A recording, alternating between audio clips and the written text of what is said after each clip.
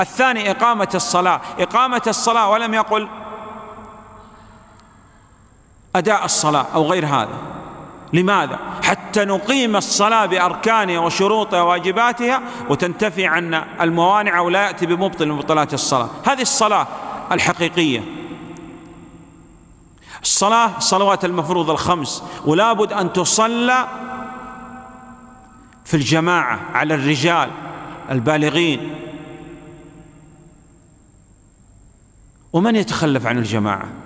فهو مرتكب كبيره من كبائر الذنوب